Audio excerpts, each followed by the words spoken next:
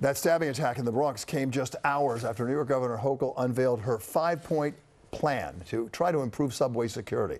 That includes nearly a thousand National Guard troops and other police officers underground. So how are passengers feeling about this new plan? Do they feel any safer? Riding the subways to get some answers, here's Eyewitness News reporter N.J. Burkett.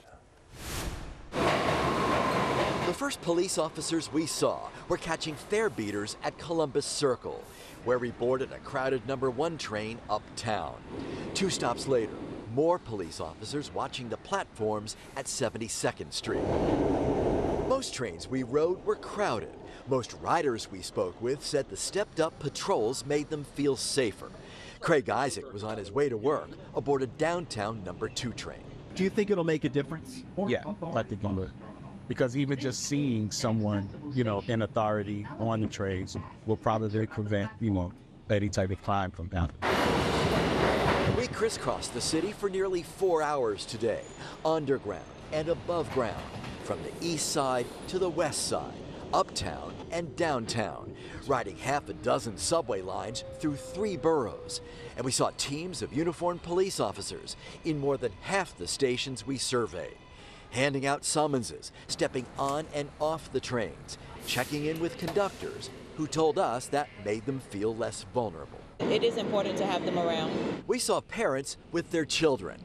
Heading to the Bronx, Jesus Cirillo told us in Spanish that he takes his kids on the subway because he has no choice. Veronica Rock was riding the 7 train with her daughter Ruby. You're on the train with your daughter. You obviously must feel it's safe enough.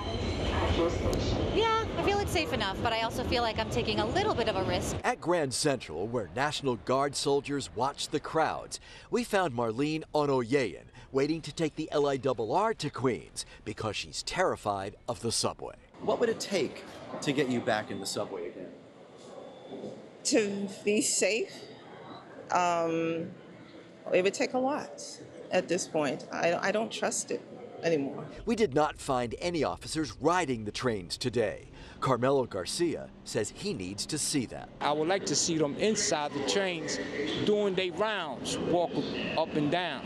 For others, like Christina Gonzalez, seeing so many officers makes her feel anxious. Sometimes it makes me wonder how I should feel. Like, is it somehow it's safer, but also it it makes me feel worried. In the terminals, random bag checks are ramping up tonight. By the time the rollout is complete, they'll be checking bags in one out of every three subway stations citywide.